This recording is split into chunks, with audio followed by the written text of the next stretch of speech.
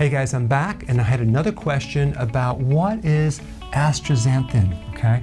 Astaxanthin is a type of carotenoid, which is a phytochemical, a plant-based chemical, and it's fat soluble. There's over 600 carotenoids, and this is one of them. It's probably one of the most powerful ones. It's fat soluble, which means that you want to consume it with fats, coconut oil, olive oil, avocado, something like that.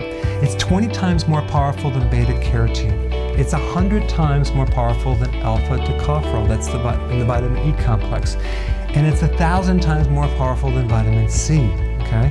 It's an anti-inflammatory, it helps you detoxify in the liver, it prevents degeneration, chronic degeneration in the body, especially with the uh, eyes like macular degeneration, cataracts, uh, brain issues like dementia, Parkinson's, heart issues, skin issues, okay? Now the question is, where do you get it? Well, it's in wild Pacific sockeye salmon, red trout, lobster, shrimp, crayfish, crabs, chlorella, which is green algae, and